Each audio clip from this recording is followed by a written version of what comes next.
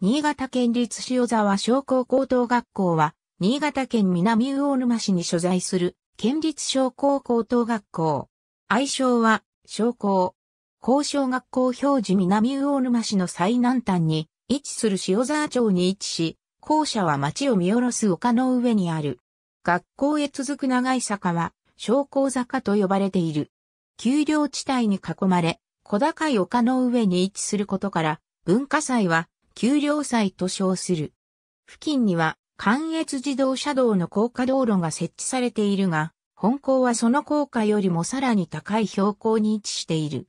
商業科と工業科の流れを持つ地域創造工学科を設置し、商工高等学校を名乗る県内唯一の高校となっている。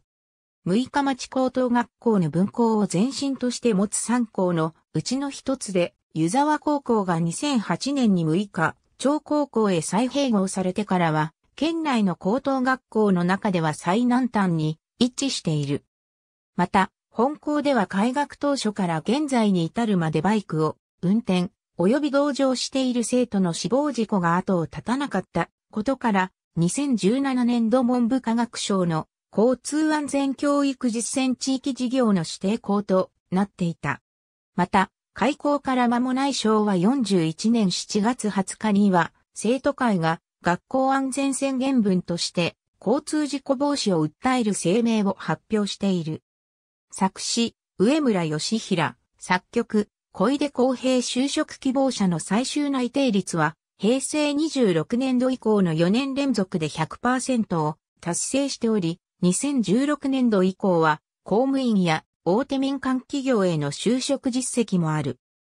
かつては学科問わず就職希望者が大半を占めていたが、2010年代以降、商業科では、商業系学科を有する国立新潟大学、大阪経済法科大学、千葉商科大学、駒沢大学、日本大学などの4年生大学に、専修学校においては、県内外の専門学校や短期大学への進学希望者の割合が年々上昇している。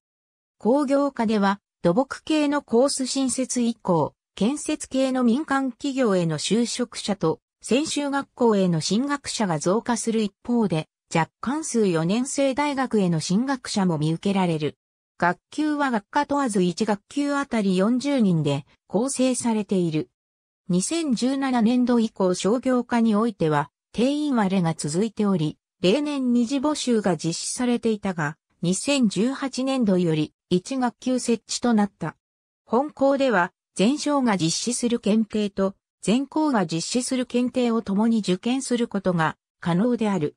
本校は一棟の教室棟から機械システム科の実習室を設置した4棟までの全4棟と第1、第2体育館、各議場からなる。以下は校舎案内図に基づく校舎の概要である。なお、本校ではプールは未設置である。なお、本校では自転車及び居住区域によっては原動機付き自転車による通学が認められている。